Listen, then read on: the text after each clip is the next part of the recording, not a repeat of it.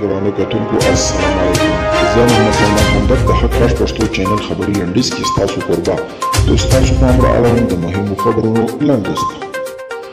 د ترکیې د بهرنیو چارو وزیر ویلي چې د اپریل په میاشت کې د افغانستان د سولې د خبرو اترو د کوربتوب ترڅنګ د افغانستان لپاره ځانګړي استازي هم ټاکي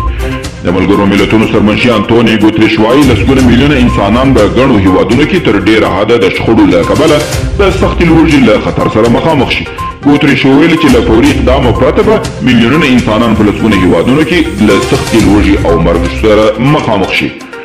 قطر په مسکو کې د بین الافغاني خبرو د روانې غونډې د جوړېدو هرکلی کړی دی. د قطر د بهرنیو چارو وزیر محمد بن عبدالرحمن الثاني په دوحه کې له خپلو روسي او ترک سیالانو سره سرګي لاروف او مولود چاوش اوغلو سره په ګډه خبري غونډه کې وویل،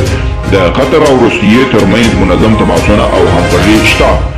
او د فرانسې د بهرنیو چارو وزیر وایي د لبنان تر بشپړ پاشل کېدو ډیر وخت نه دی پاتې د فرانسې د بهرنیو چارو وزیر ژان ایو لودریان وایي د لبنان پاشلتیا به نه یوازې د لبنان د خلکو لپاره ناورین وي بلکې په دې هیواد کې د سلګونو نورو زرو